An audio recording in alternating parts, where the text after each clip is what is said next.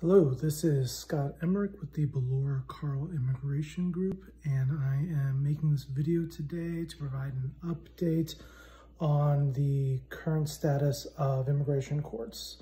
Um, the Executive Office for Immigration Review announced that all non-detained hearings, master calendar and individual calendar, are postponed through April 10th.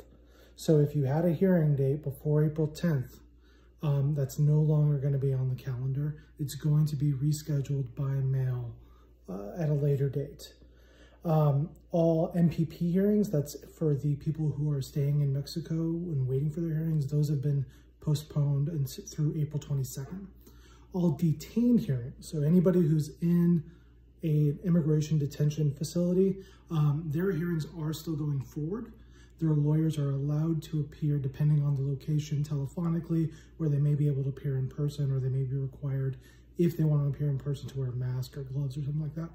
And you should check with your local facility on uh, the requirements they have, but those detained hearings are still going forward. A second note is that any filing dates that are due at the clerical window are also still in effect for the Los Angeles area at least.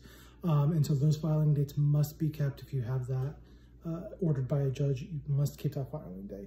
Um, it's obviously a very fluid situation, and I will provide an update as soon as we get any more updates from EOIR. Take care, stay safe, stay healthy.